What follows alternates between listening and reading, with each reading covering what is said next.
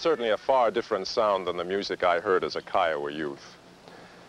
But those rock and roll musicians and the Kwakiutl dancers filmed some 50 years ago have something in common with me, our Native American heritage, our Indianness.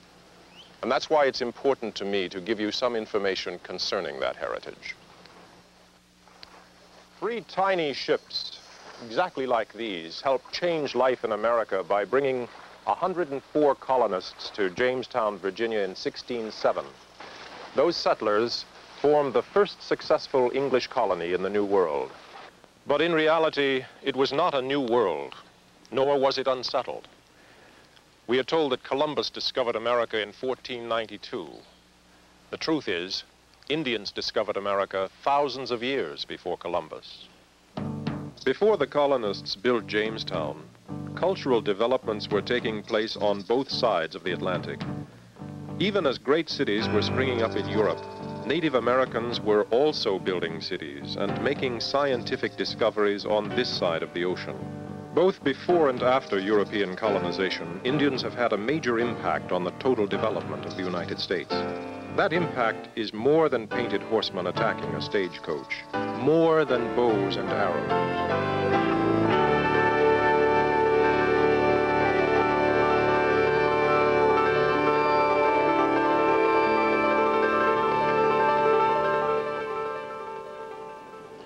The most profound impact of the American Indian on the development of our nation is reflected in our very form of government.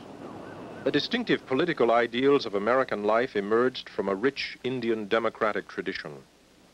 That tradition can be traced to documents here in the National Archives. Universal suffrage for women, the pattern of states within a state, the tradition of treating chiefs as servants of the people instead of their masters, the demand that the community respect the diversity of men and their dreams. All of these things were part of the American way of life long before the arrival of Columbus. The first regional democratic governing body in what is now the United States was not the Continental Congress, which met at Independence Hall in Philadelphia. Even the Virginia Colonial Assembly, meeting here in Williamsburg, was a latecomer in the field of representative government. The first was an organization known as the League of Five Nations, or the Iroquois League. It was established sometime prior to 1600 to unite five Iroquoian nations in order to solve mutual problems. This Iroquois beaded belt tells the story of the member nations uniting. They adopted an oral constitution and a governing council of 50 representatives. The council dealt with items affecting the entire group, but left purely tribal matters up to each individual Iroquois nation. The original five were the Onondaga, depicted in a Turtle Clan meeting here, the Seneca, Cayuga, Oneida, and Mohawk nations. 104 years after its formation, the League added a sixth nation, the Tuscarora. Women had a strong voice in the Iroquois society. The clan mother selected the chiefs and was the most powerful figure in a strong local form of government. Iroquois women owned the family crops and houses and had voting rights. Although outnumbered by rival Algonquian tribes, the Iroquois became the dominant force in the Northeast following the formation of the Iroquois League. That league continues to operate today. Artist Oren Lyons is a sub-chief in the Turtle Clan in the Onondaga Nation. He teaches Native American studies at Buffalo University. The Onondaga chief says the U.S. governmental ideals can be traced to the Iroquois League. Prior to drawing up his Albany Plan of Union for the colonies in 1754, Benjamin Franklin requested a meeting with the Iroquois League chiefs to learn more about the Indian Confederacy. Chief Lyons recounts the substance of the meeting between colonial leaders and the Iroquois chiefs. And it was suggested at that time by an Onondaga chief that they, the colonies, unite uh, in a form of government that was similar to ours, that would uh, represent the people. The format is very ancient, and this is the format that was taken by the 13 colonies originally, the Articles of Confederation. There is ample evidence that Franklin was influenced by the Iroquois Confederacy when he did draw up the Albany Plan. Moreover, that plan was followed essentially more than 20 years later in the Articles of Confederation, the forerunner of the United States Constitution. Ben Franklin put it this way in his argument for colonial union. It would be a very strange thing if six nations of ignorant savages should be capable of forming a scheme for a union, and yet that a like union should be impracticable for ten or a dozen English colonies to whom it is more necessary. In addition to Franklin, Thomas Jefferson and George Washington were familiar with the Iroquois League. The founders of our nation were facing the problem of uniting sovereign states when they wrote the United States Constitution. And they did adopt ideas from the Iroquois League. Well, immediately, always they were warned. Ray Fadden, a Mohawk, is curator of the Six Nations Museum in Onchiota, New York. An expert on the Iroquois Confederacy, Fadden says our form of government was not born from European ideals. Over here in America, those chiefs were representatives, something like Congress, I suppose. They simply represented their clans, and since everyone belonged to a clan, in plain English, they represented their people, were put in office by their people to represent them in their government.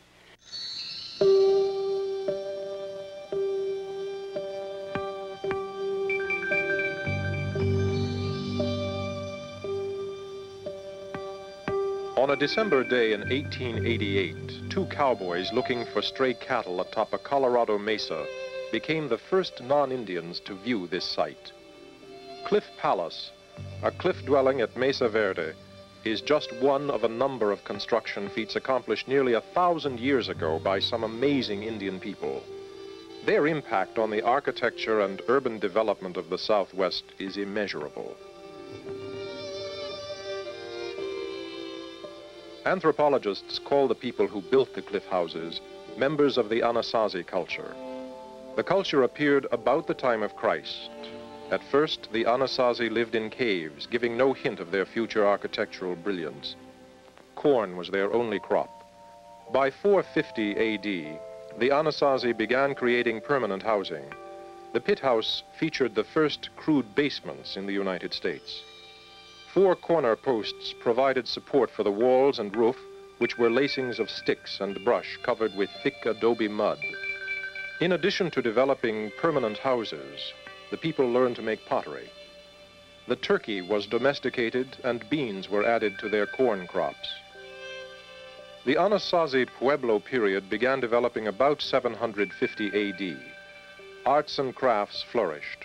Trade began cotton was introduced and the bow and arrow became a hunting tool and a weapon. Early in the developmental Pueblo period, the Anasazi began experimenting with stone masonry. This led to the classic Pueblo era, during which these construction geniuses built huge apartment complexes and cliff dwellings that served as early cities.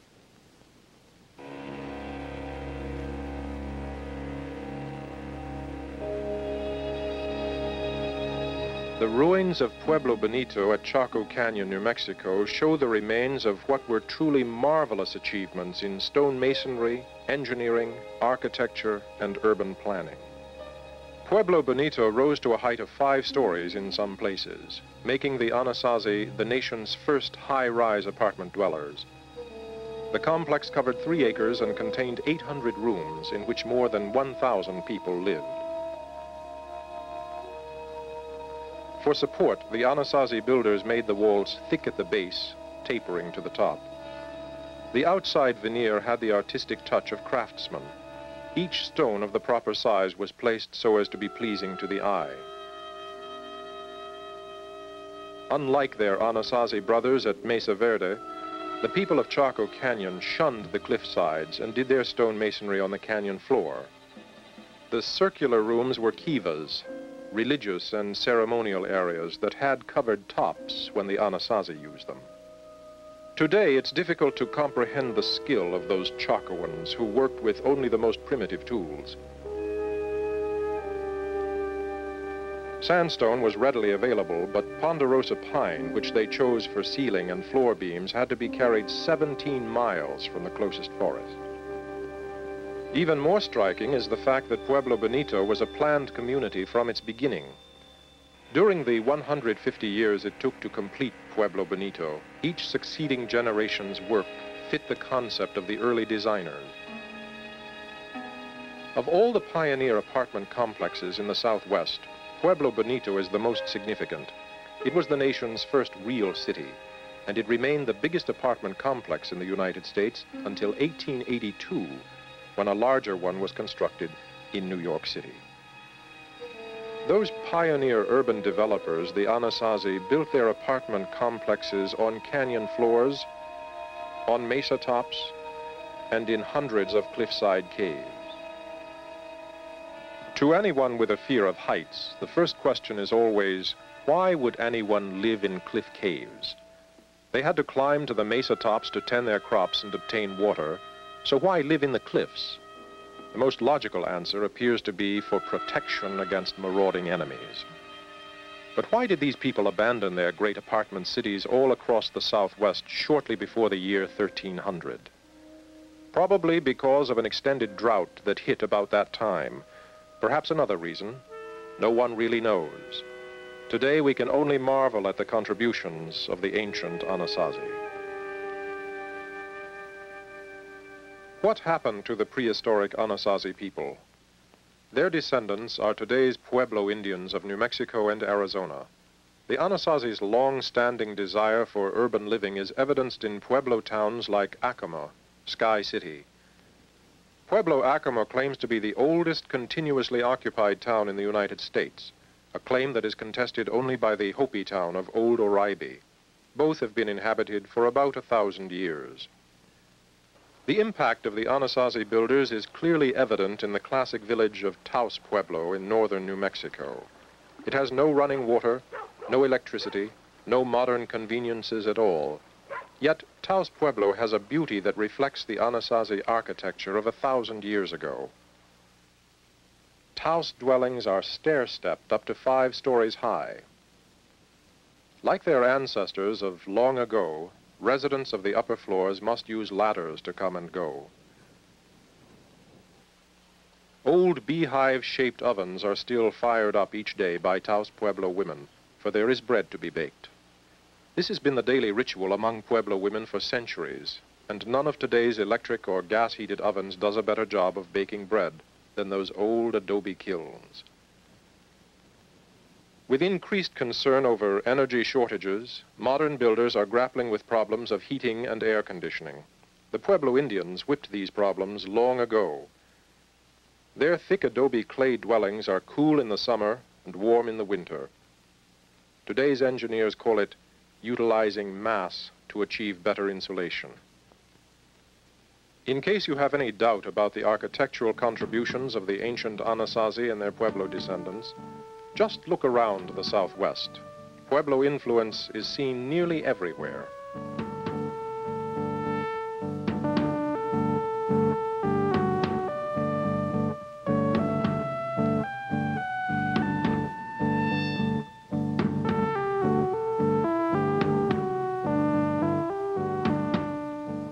Even before the Anasazi began their architectural achievements in the Southwest, other Indian people were accomplishing engineering miracles.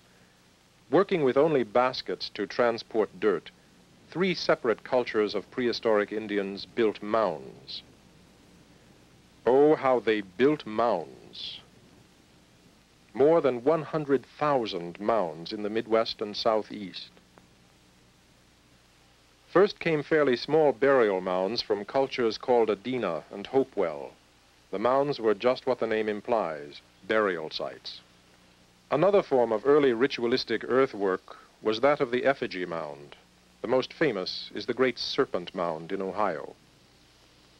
The serpent's body is a low, rounded embankment nearly a quarter mile long. The average body width is 20 feet, and its height averages 5 feet. The builders did precision work when they made the tightly coiled tail. For decades, scholars have been wrestling with the true meaning of the serpent and other effigy mounds. Most likely, they were religious symbols. Huge temple mounds were the engineering wonders for an early people known as the Mississippian culture. That culture flourished for a thousand years, from about 700 AD. Those mounds were the ritual centers for natives who gave us another form of urban development. Villages were built around the temple mounds. The Ocmulgee Mounds near Macon, Georgia, are the remains of a town site that was occupied for 200 years before being abandoned about 1100 AD. Indian mounds exist in far greater numbers than do the pyramids of Egypt, and some scholars believe they go far beyond the Egyptian achievement in their overall scope. In spite of villages like these, a false picture of Native Americans was painted by early explorers, trappers, and settlers.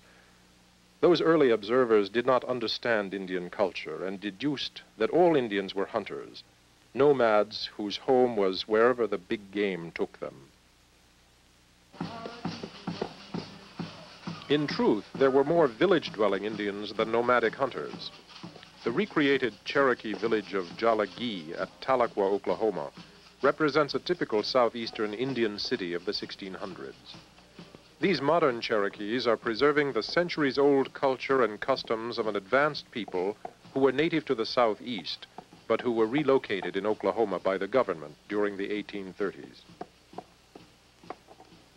The Cherokee village is yet another form of urban development in which Indians used materials available to them, mud, cane, and timbers to build their town. Villages like these were early civic center approaches to urban living.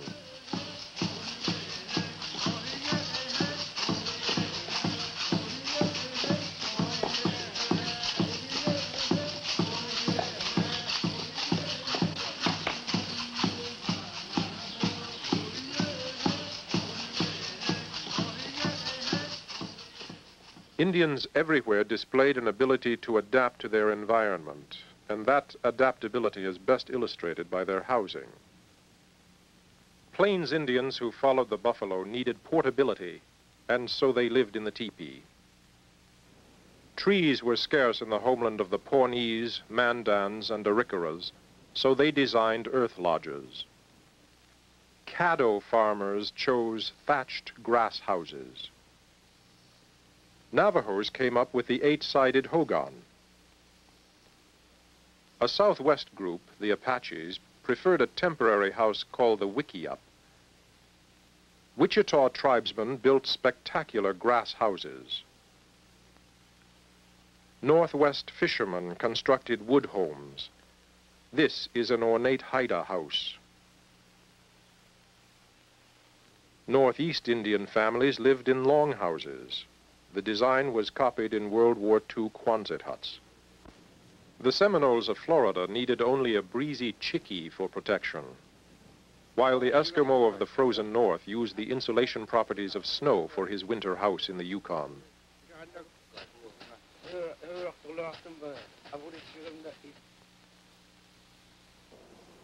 Even today, Native American impact is being felt in contemporary architecture. The symbolism revered by Indians is being used in design work by architect Dennis Sun Rhodes, a northern Arapaho. He used the symbol of the Turtle Clan in the design of the Native American Center for the Living Arts at Niagara Falls, New York. Symbols actually held nations together.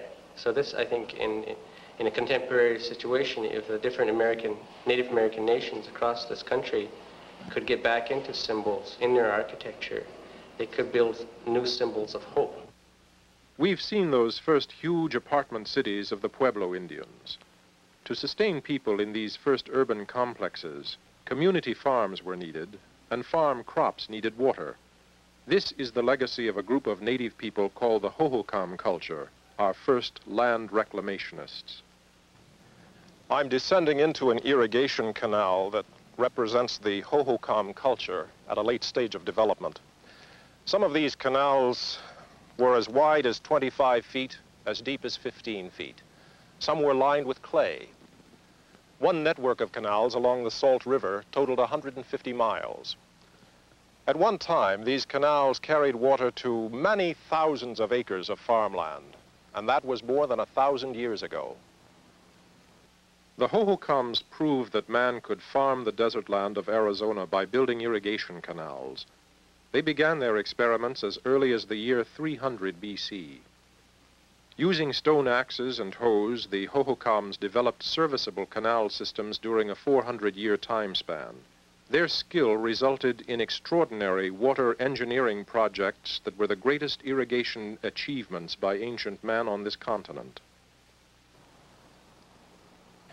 This irrigation canal is part of the first modern reclamation project in the United States. And that project, in turn, is based upon ancient Native American models. Many of the Salt River Project canals in and around Phoenix, Arizona, follow exactly the routes engineered by the ancient Hohokam. The impact of the Hohokam water projects can be seen today in lush farm crops growing on former desert land. Today's Pima and Papago Indians of Arizona are descendants of those incredible canal builders of more than 10 centuries ago. But today, the Pima farmers have replaced Hohokam digging sticks with modern farm implements. Native American contributions in the field of agriculture are many and varied. Corn, or maize, first domesticated in Mexico, is the best known crop of Indians of the Americas. Among the leading native agronomists were the Arikaras, a northern farming tribe who developed seven different varieties of maize, including one strain that would mature quickly in a short growing season.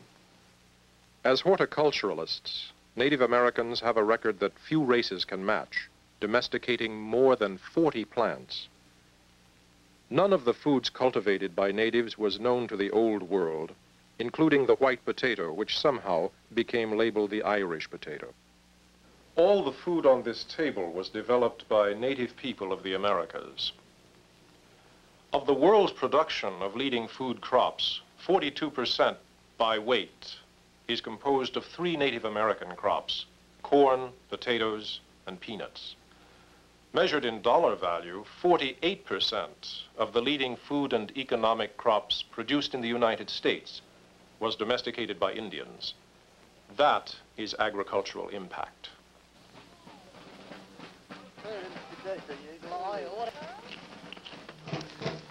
It's not difficult to trace the impact of native influences upon the destiny of this nation. You just have to look to colonial times. This is a replica of Fort James, the site of the first permanent English settlement in the New World. When the British colonists arrived at Jamestown, Virginia in 1607, their first task was the construction of the stockaded Fort James on the banks of the James River. Tribes of the Powhatan Confederacy made it possible for the colony to succeed.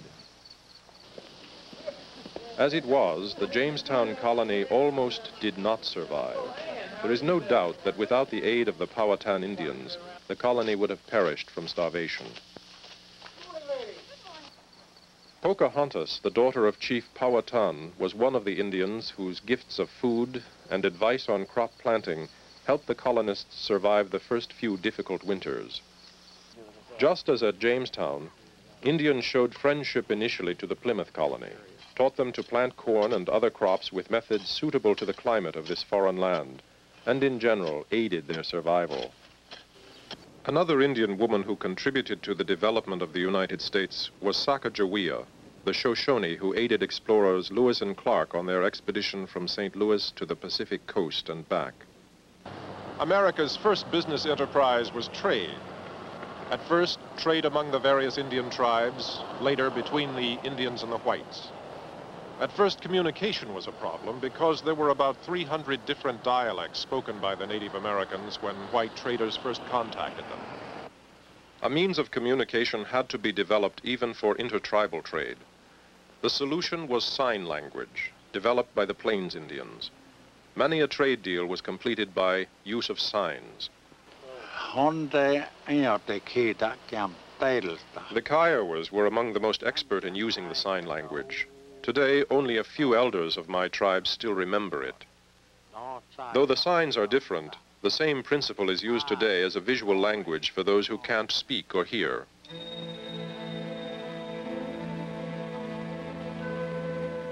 While there was no written Indian language prior to European colonization, many North American tribes used pictographs and petroglyphs to record events that happened to their people.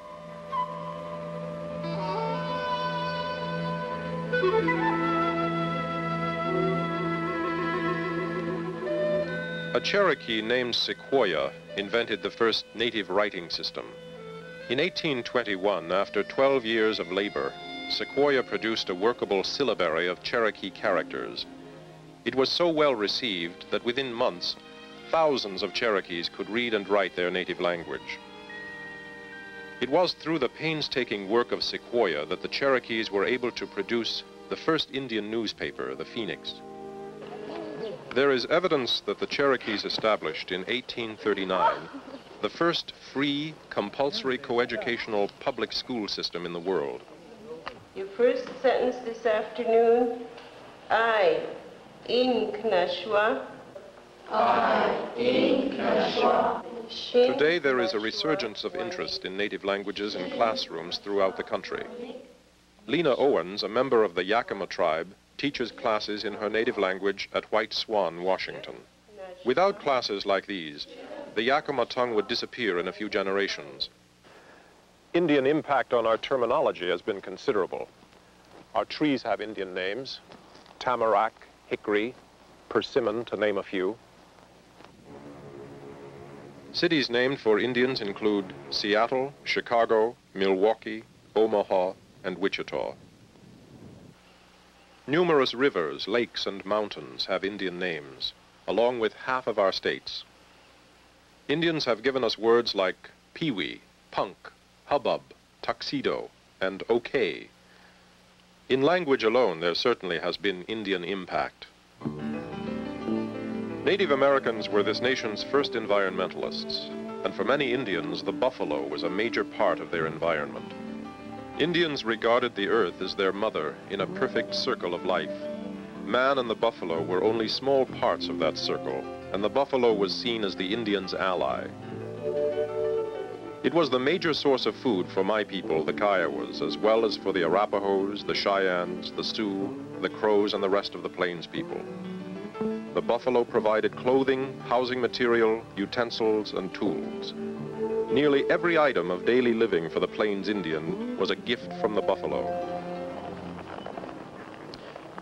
In the 1700s, a wondrous animal, the horse, changed the balance of power in the buffalo hunt in favor of my people. In one day, a single hunter on a fast horse could kill enough buffalo to feed and clothe his family for months. The horse literally changed the entire lifestyle of the Native American.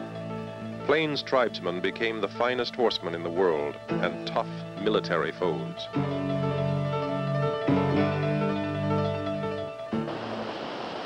On the west coast, the fish was to the Indians what the buffalo was to the plains people, the staff of life.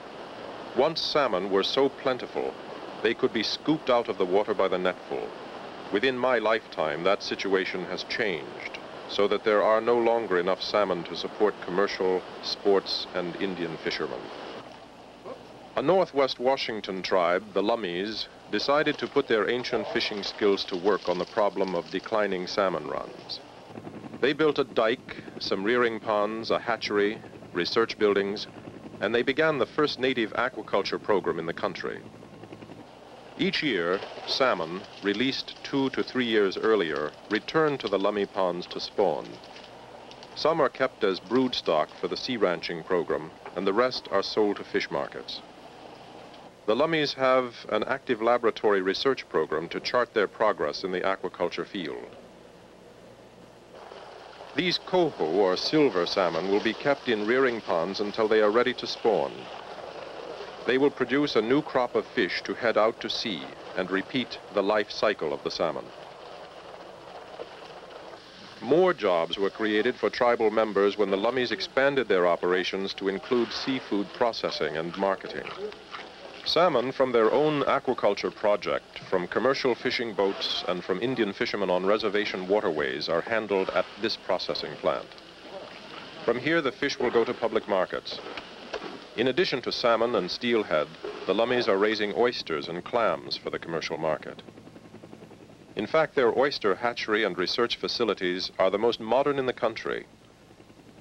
The Lummis are using Indian technology to help solve one of today's problems, and their impact is being felt in the seafood industry. Early Indian technology involved a substance we all know today, petroleum. Of course, the Native American didn't have a car engine to lubricate, but he worked wonders with a substance that was part of the normal environment of many Indians. Now, pumps suck oil from wells to satisfy the tremendous demand. But prehistoric Indians in many areas found it oozing from the ground. A thousand years before Columbus reached the New World, natives had dug more than 2,000 oil pits in Pennsylvania. In what is now the movie capital, Hollywood, Indians took advantage of the asphalt substance bubbling up from pools in an area we call the La Brea Pits. Prehistoric Indians used the asphalt to waterproof their houses, to seal baskets for holding liquid, as glue, and as a caulking agent for the unique plank boat built by the Chumash Indians. During construction, as each plank was tied into place, a thick layer of asphalt was applied to all edges. Generations of Indians used petroleum for fuel, paint, tonic, bath oil, and face makeup, among other things. The evidence continues to grow that some of the first Americans were passable chemists. You're looking at a piece of flint, a stone highly prized by prehistoric Indians. This particular flint is found only in a 10-mile area of the Texas Panhandle. It's called the Alibates Flint Quarries. Between 500 and 1,000 open pit mines here were worked by Indians beginning as early as 12,000 years ago. Those people were among the first to employ mining techniques in North America. They had a variety of uses for flint, including axe heads and projectile points. Normally, flint has one characteristic shade, but Alibates flint has a multitude of bright colors and patterns. It holds a sharp edge when chipped and flaked. Alibates flint obviously was a valuable trade item, for it has been found at archaeological digs far away from the Texas Panhandle. Long before whites arrived, Native Americans mined such substances as copper, lead, mica, and coal, while south of the Rio Grande, silver, gold, platinum, and jade were mined.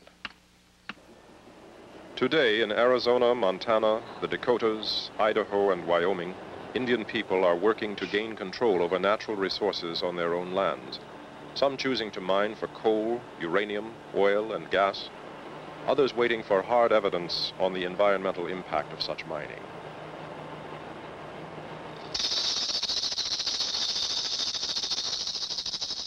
The native medicine man has been viewed by some as a faker using spiritualistic hocus pocus. However, Many of the medicine men were skilled herbalists who regularly used over 200 medicines and drugs that later were included in official pharmaceutical manuals. Moreover, several experts on Indian healing methods now agree that medicine men, with their masks and rattles, had success in psychotherapeutics. They were early psychiatrists. Dr. Robert Bergman of the University of New Mexico Psychiatry Department worked with Navajo medicine men for six years. Well, I was surprised initially at how good they were.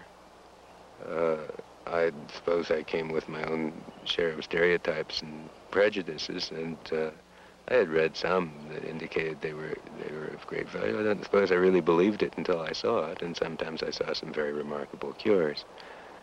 They uh, were good healers. They were good doctors. What they were best at are things that psychiatrists do today. There are other Indian contributions to technology. Remember our canal building friends, the Hohokams? Those amazing people also gave the world this first, the first etching process ever developed. This etched shell, a Hohokam work of 900 years ago, predates the first European etching process by 450 years. Here at the Smithsonian Institution in Washington, D.C., one can also find out that the Indians discovered rubber and invented the syringe. The snowshoe is a Native American invention. Eskimos devised the parka and other cold weather apparel, along with snow goggles. Most of the Eskimo snow goggles were made of wood or ivory, with tiny slits to protect the eyes from sun glare. The dog sled was another of the Eskimo creations. He needed it to travel the Arctic, where the snowfall is generally light, but where it's so cold that the snow remains until well into the summer. The Eskimos were truly an inventive people. They had to be to exist in the Arctic climate. The land of the Eskimo stretches 4,000 miles over a harsh, treeless area hit by storms and sunless gloom in the winter and insects in the summer. Fishing and hunting sustain the Eskimo families. They devised any number of specialized methods and pieces of equipment for fishing and hunting in the frozen north. This man is ice fishing for seal. Oil and meat from this and other mammals, like the walrus and whale, provided nutrients needed by the Eskimos. The seal oil lamp was invented by these Native Americans, as were the snow house and bone hobnails, the predecessor of what today's mountaineers call crampons. Today's Eskimo still goes hunting and fishing, but the snowmobile has replaced the dog sled. In basic ways, however, rural Eskimo life is still very similar to what it was many decades ago. The Eskimo is now more dependent than ever on his artistic skills. Still using ancient methods to carve ivory and bone figurines, this craftsman, like many native people, must sell his carvings to get the cash he needs for today's economy.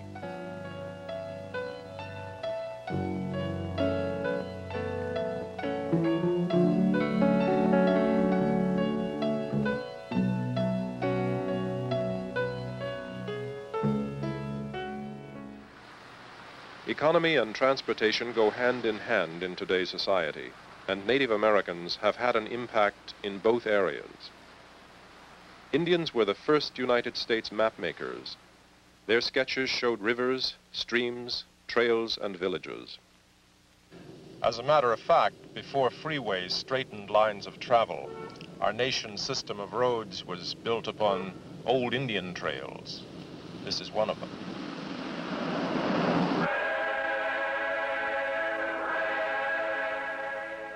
Transportation on waterways was by canoe, and the maritime masterpieces were the dugout canoes. This 50-year-old film shows the dugouts of the Kwakiutls, a northwest coast tribe. The dugout was as seaworthy a craft as was ever designed. The Northwest dugout makers fashioned their craft from huge cedar trees. Prior to the white man's arrival, most small canoes were made from bark or animal skins. They were the models for today's recreational canoes seen on lakes and waterways everywhere. In the field of art, the American Indian has contributed greatly to American culture and society. These paintings, for example, represent a unique and highly developed aesthetic expression of the Native American spirit. Other Native Americans have worked in a variety of artistic forms. But there has been debate over whether Indian art should be classified as simply craft work. The curator of Indian art at the Philbrook Art Center in Tulsa, Ben Stone, has some definite ideas on that issue. I choose to refer to it as art. I don't think that the artistic creativity of any group of people can be looked at as merely a craft.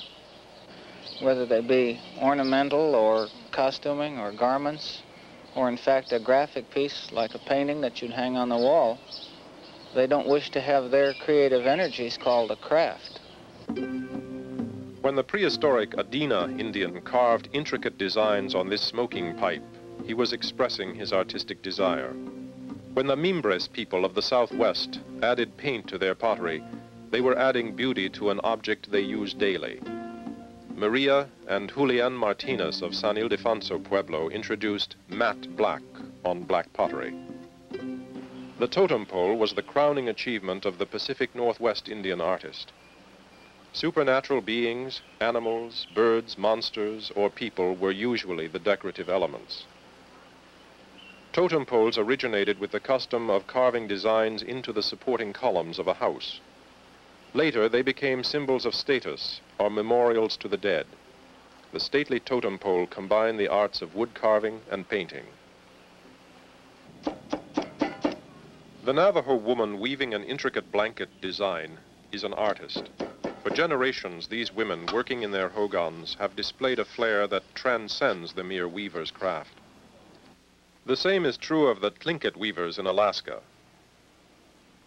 They were expressing themselves as artists when they worked mountain goat hair and cedar bark into their exquisite chilkat blankets.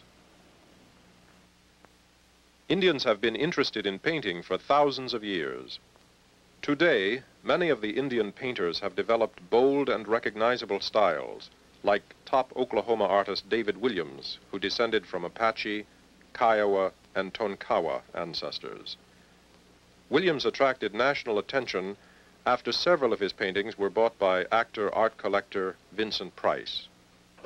Hopi artist Charles Loloma is the nation's number one native jeweler. He has inspired a new generation of Indian artists to express themselves, and his impact on jewelry design is incalculable. Working mainly with turquoise and silver, Loloma creates his jewelry designs in his studio home at Hotevilla on the Hopi Reservation in Arizona. In yet another artistic field, that of show business, the impact of the American Indian has been considerable. Will Rogers was the biggest Indian star of them all. Born in Oklahoma, he parlayed great skill with a cowboy's lariat into stardom as a newspaper columnist, a radio commentator, a movie idol. Will started out doing rope tricks in rodeos and soon gained a reputation as one of the greatest ropers in the world. Rogers performing a Texas skip now the rope goes behind the horse and rolls all the way around to catch the four feet from the opposite side. It's a figure eight. Notice the rope cross and the horse steps into it.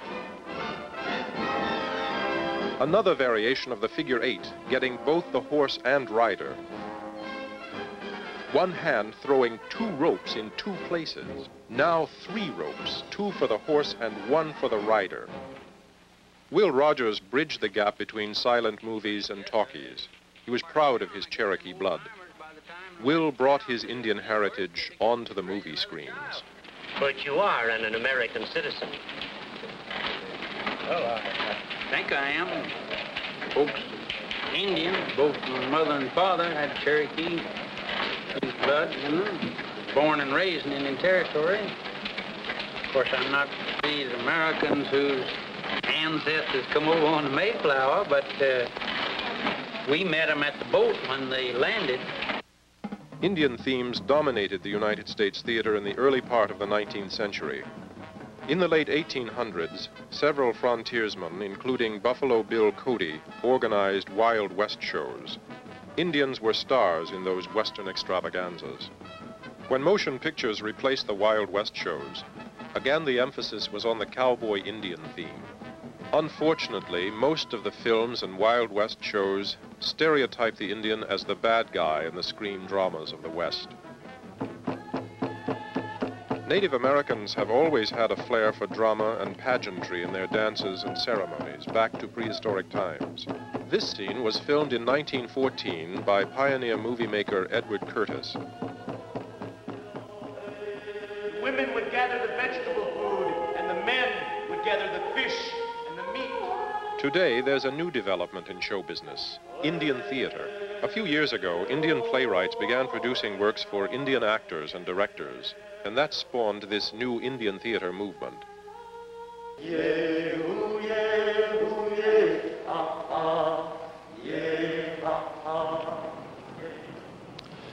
The impact of the Native American has been and continues to be truly significant in the development of our national life. What I have shown you is just a sample. Indians have been elected to Congress. We've had an American Indian vice president. Indians have held positions of leadership in virtually every field of endeavor. Ecologists are just now beginning to understand the importance of Native American traditions with respect to the earth, the sky, and the water. Perhaps former Commissioner of Indian Affairs John Collier said it best. They had an ancient, lost reverence for the earth and its web of life. They had what the world has lost. The world must have it back, lest it die. A renewal of those American Indian traditions may well be the impact of the Native American upon this nation's future.